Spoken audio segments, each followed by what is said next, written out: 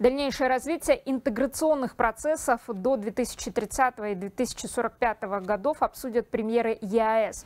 Заседание Евразийского межправительственного совета пройдет в Армении, куда прилетел премьер-министр Казахстана Алихан Смаилов.